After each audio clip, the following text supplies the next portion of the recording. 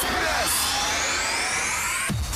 مرحبا بكم في Sport Express باش نحكيو على غياب الترشحات للجلسة العامة الانتخابية للنادي الإفريقي لكن قبل البداية مع النادي الصفاقسي والاجتماع العاجل للهيئة التسييريه للسي إس إس تم تاجيله وتعويضه آه، مبدئيا باجتماع عاجل آخر الاجتماع العاجل هذا مع والي صفاقس اداره ال CSS. تلقت دعوه من والي صفاقس لعقد اجتماع عاجل بخصوص آه، طلب تأجيل مباراة الترجي. نذكر بالأحداث نذكر أنه إدارة النادي الصفاقسي كانت طلبت استكمال مباريات مرحلة الذهاب قبل إجراء مباريات الإياب وبالتالي تأجيل مباراة الفريق المبرمجة نهار السبت ضد الترجي الرياضي التونسي والرابطة عينت المقابلة هذيا نهار السبت الجاي. واليوم آه، والي صفاقس بعث مراسله لمكتب الرابطة طلب فيها تأجيل المقابله هذه الأسباب آه، أمنية. وإدارة ال CSS هدد حتى بعدم خوض المقابلة هذه. أكيد راجعين بأكثر تفاصيل على موضوع تأجيل مباراة ال CSS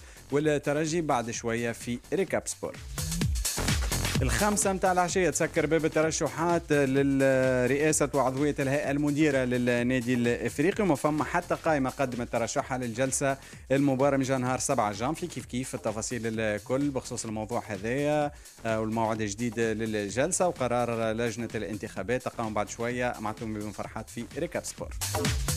الترجي الرياضي التونسي ما زال ممنوع من الانتداب بسبب تعقيدات بنكية لتحويل مبلغ مالي بسيط في حدود 8000 دينار يخص منح التكوين لزوز فرق اللاعبين السابقين منهم إيوالا إدارة الترجي بعثت المبلغ المطلوب لكن ما زال ما وصلش بسبب إجراءات روتينية في البنك المركزي.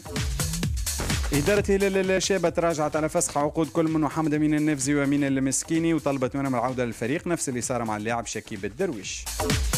بعد نهاية تجربته مع المصري البورسعيدي المدافع هيثم العيوني أمضى اليوم عقد حتى نهاية الموسم مع أهلي طرابلس الليبي اللي دربوا فتح جبال. حاليا يتم تقديم كريستيانو رونالدو لجماهير فريقه الجديد النصر السعودي.